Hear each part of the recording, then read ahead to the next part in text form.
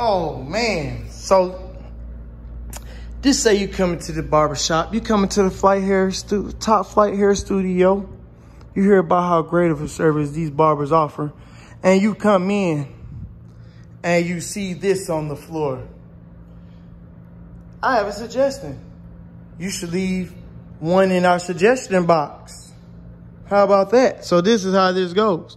You come past all these chairs, all these nice stations, all these well-lit area. You see the custom lighting right there, but don't get distracted because we still got to go ahead. We almost halfway there through the process. So you're going to see Blaze on this side. You will see Soup, the barber right there. Fuego 260, the owner. You will see T when he's here. You will see Danny when he's here. You will see my boy Rich Da Vinci in this station.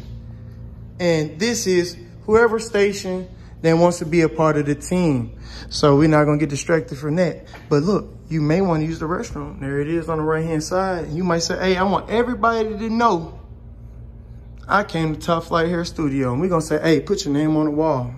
Draw you a little girl with some little, you know, come on, do what you do. We, you at home and you're gonna leave with a good service. So then you're gonna come in here. Now we still trying to figure out what's going on at that station that's bothering me. So it's time for me to leave something in the suggestion box. So you're gonna come here. We say employees only.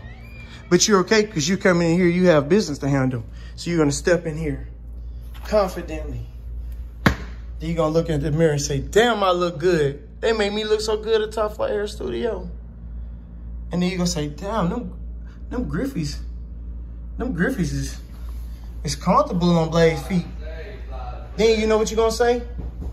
Hey, I need to leave a review in this suggestion box. And then this is what you do. You take this notepad right here and you're gonna fill it out. You're gonna say, hey, I don't like that Blaze had a red broom and he had hair at his station while he was not cutting.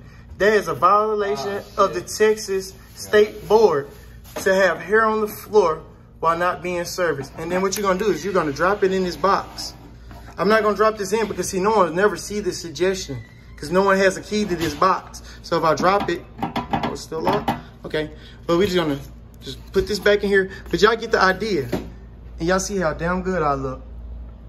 If I don't look good, man, y'all tell me. I just got my chain polished. I'm trying to look like something, man. Yes, that's that Cuban link, man. A very powerful man wore this. A man of God. I feel so confident. I feel so powerful with this, man. Y'all better stop playing with your boy. You better stop it.